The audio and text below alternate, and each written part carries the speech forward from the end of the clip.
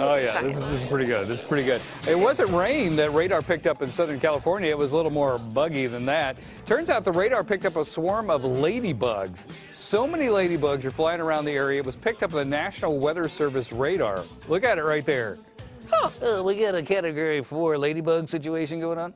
Uh, the bloom, as it's called, measured about 80 miles wide. While the prospect of seeing a massive collection of bugs flying around might seem terrifying, experts say many people on the brown, uh, ground probably didn't even notice anything different. Uh, the concentrated ladybugs were spread over different elevations as they searched for food, something typical for this time of year. Cool. That's pretty cool. Uh, you've been slapped with science. Uh, next story. Uh, red ice that was spotted in a photo from Pluto suggests that a small, the small planet may have recently released mountains and fountains of water into space. According to the new research report that was released back in March, it gives scientists a new glimpse of the organic structure of the salty subsurface sea.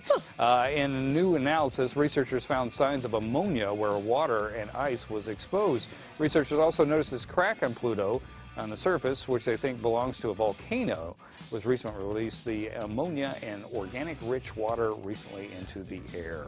Wow. Mm-hmm. Yeah, you've been slapped with science. Yeah. yeah. Eduardo, why are you so far away? You scared of me? Huh? Huh, Mr. Muscles? Huh? Huh?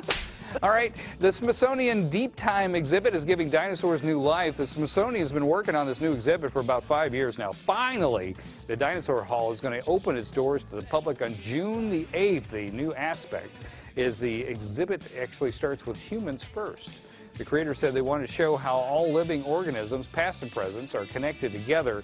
The exhibit also highlights the changing ecosystem and the changing of the environment, and people will be able to examine dinosaur bones more closely.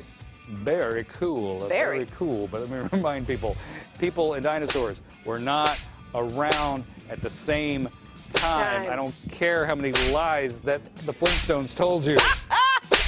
Timeline does not match up. All right, there you go. You've been slapped with science.